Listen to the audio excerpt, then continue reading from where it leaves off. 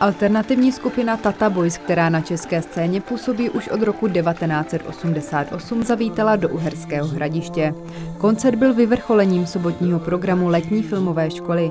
Ve městě kluci nevystoupili poprvé a na Slovácko se rádi vrací. To jo, my to tady máme rádi. My máme pocit, že tady na té Moravě jsou takový mm, fajn lidi, že, že jako reagují dobře na naší hudbu. Tak jsme zvědaví, jaký to bude dneska a doufáme, že nebudeme zklamaný a oni taky ne. Už u prvního songu bylo znát, že si lidé přišli koncert užít. Na tu správnou vlnu je naladila třeba píseň filmařská. Mám pocit, že nežijí ve své vlastní režii.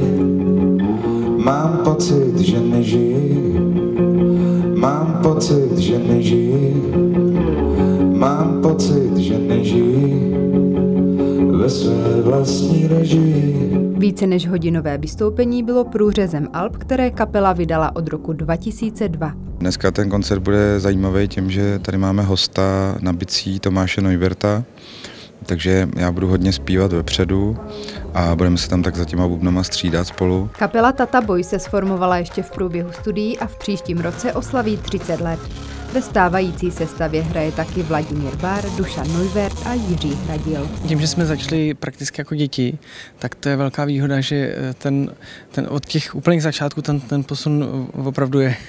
My jsme vlastně se v reálném čase učili na ty nástroje. My, my jsme vlastně moc neřešili to, že nic moc neumíme a rovnou jsme hráli, když už to šlo nějak. Jsme si vlastně třeba ty první koncerty, jak sami udělali, ten úplně první ve, ve školní tělocvičně, takže, eh, takže tam ten posun je značný. V průběhu své kariéry kapela neprošla ani zásadní ponorkou. Zná totiž základní recept.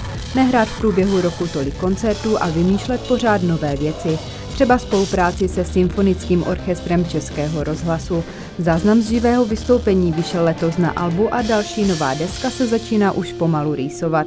Skupina chce v průběhu roku začít pracovat na nových písničkách.